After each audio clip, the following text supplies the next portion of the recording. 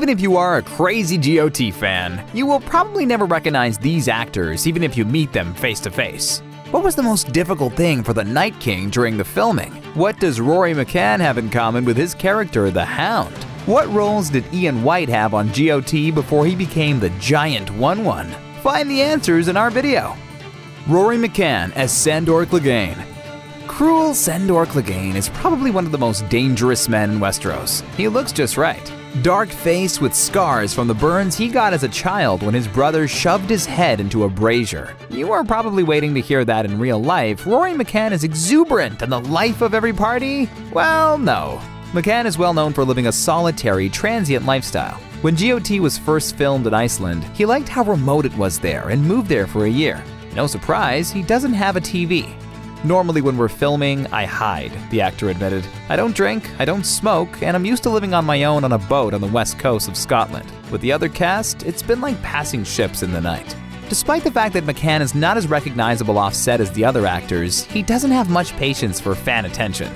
I do get recognized and I try to be accommodating, but I prefer not to be noticed, to be honest, and disappear. Even the other day, someone caught me before breakfast in a strange place. I didn't even manage to see him, and the guy went, You're the Hound. And I just said, F off, the actor revealed. Very much like the Hound, isn't it? But the main drawback for the actor is not the fans, but the makeup.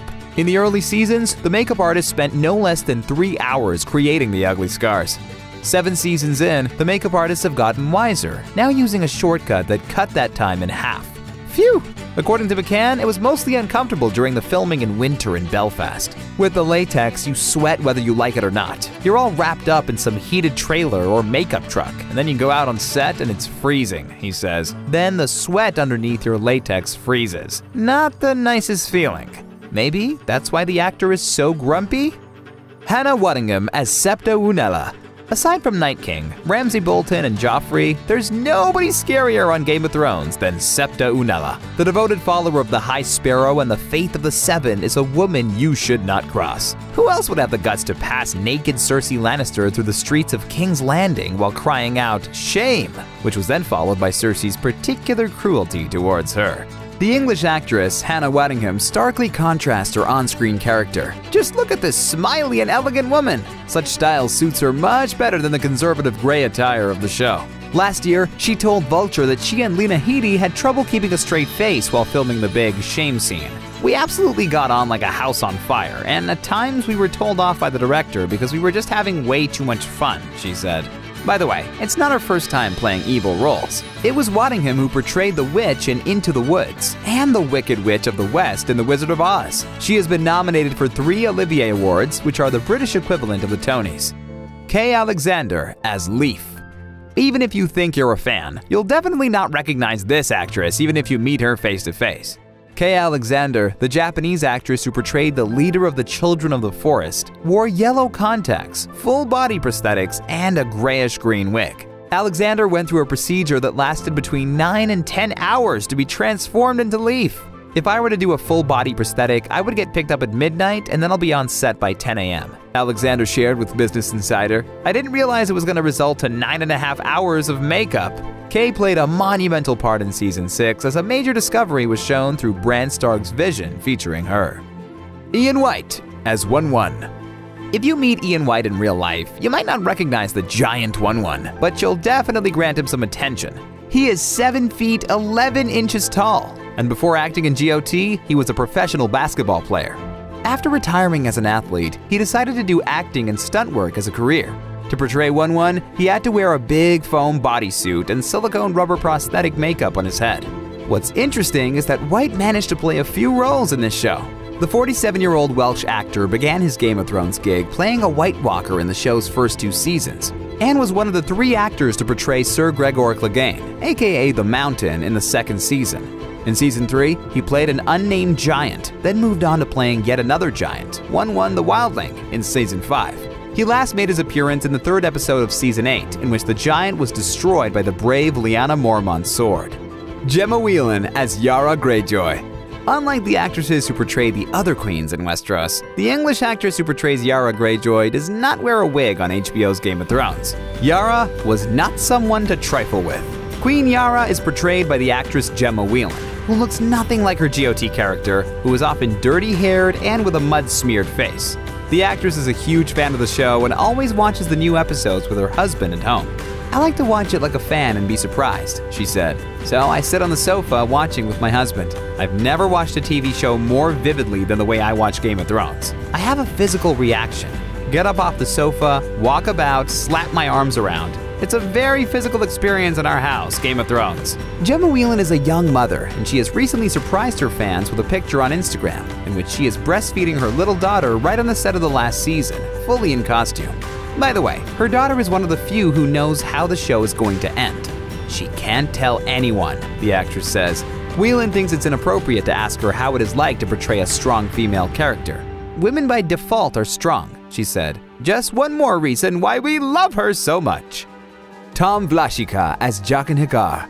Jaqen H'ghar is literally no one or everyone in the House of Black and White. He attracts and scares at the same time. His phrases sound confusing, and it was him who taught Arya how to, well, you know. We won't give away any spoilers. This might seem confusing, but Jaqen still has one more commonly used face, that of German actor Tom Wlaschiha. What I really love about the character is that he has a big secret, Wlaschiha says. You can really play with the fact that you're hiding things, that you're always literally putting on a different face. I like his magic ability, although we'll find out that they're not that magical at all. He's just very skilled. By the way, two years ago in an interview, Wlaschiha revealed that he thinks that eventually no one will end up sitting on the Iron Throne. As the actor wore no makeup for filming, besides the different faces, he said, It's natural for me to be sitting in a restaurant and people just take photos of me from everywhere. But it's okay, I can live with it. Kerry Ingram as Shireen Baratheon. GOT had plenty of shocking WTF moments, but nothing can compare to the cruelty of the Red Wedding and the death of little Shireen Baratheon. Now the actress Kerry Ingram is already 20. Oh, time flies. In a recent interview, the young actress had revealed in detail how she spent time preparing for and filming the final scene. Even at the beginning of the filming of the fifth season, the girl was warned that her character was going to be killed, but she wasn't told how. The most difficult challenge during the preparation of the portrayal of Ingram was the screaming. Within those screams, she had to embody all the despair and hopelessness of a child that was going to be killed. The actress was very worried that she had no place to rehearse the screaming because after trying such a thing, she would probably have been visited by a few police officers. I brought this up to production. I don't really know what to do. Is there any way I could get a soundproof room or something like that just so that I can prepare for it? So, what they did is they took me out to an empty car park in the middle of Belfast and had a vocal coach scream with me. It was very funny to the people passing by. That was the only preparation that I did. The result of the filming of this episode was an amazing, terrifying scene and a lost voice. I had to tell all my friends I was sick because I couldn't tell them why I lost my voice, shared the actress. Lino Facioli as Robin Arryn. He was about 8 or 9 when he made his first appearance as Robin Arryn, a cranky and cruel boy who literally can't leave his mother's breasts. And then, all of a sudden, he appears in the final episode, and we can't believe what we are seeing. He is hot, really hot. It's Robin, not Daenerys' death, that became the most discussed moment of the finale. His glow up had the audience comparing him to Neville Longbottom from Harry Potter. According to 18 year old Lino Facioli, he gained more followers in a night than he had throughout his whole time being on Instagram. The experience has left him pretty baffled. Honestly, I just kind of laugh and sort of just act as humble as possible. I never know how to react with compliments. I love them, but it's always like, how do you react?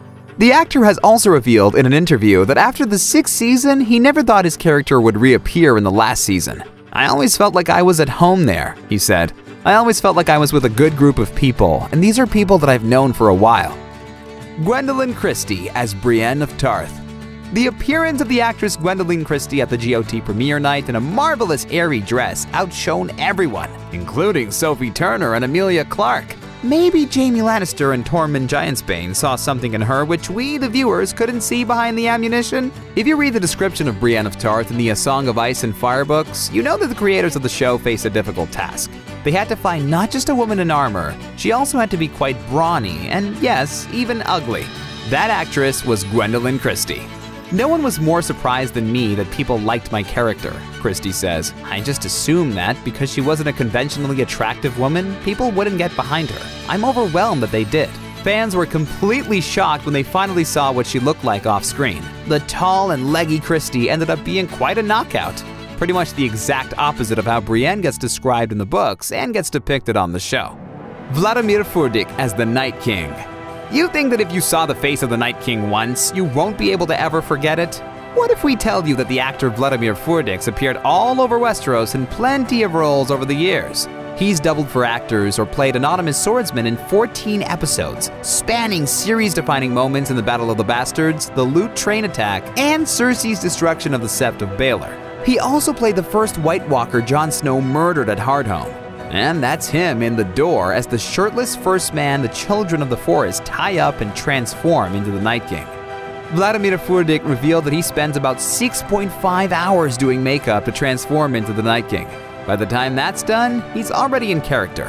When somebody puts a costume like this and makeup, you completely change to be the character, he explained. You don't need to be thinking. Hair and makeup change you into this creature. But the most difficult part of the role? Remembering not to blink. It's not easy, but if you put in your mind on that information, don't blink, I don't blink. It's training. Which of these actors would you like to meet in real life? Tell us in the comments. Thanks for watching. Check out these other great stories from OSSA and subscribe for new videos about your favorite stars.